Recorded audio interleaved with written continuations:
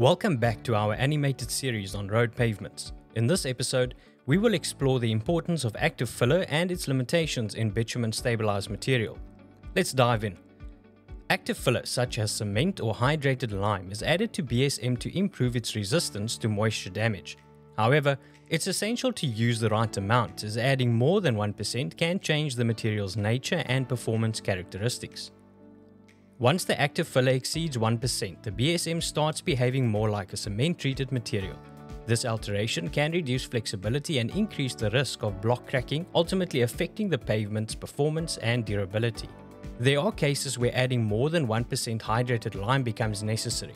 For materials with a high plasticity index, the application rate of lime is determined through an ICL test.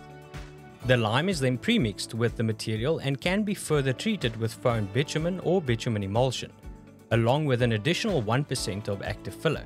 The key to optimal performance in BSM lies in achieving the right balance between strength and flexibility.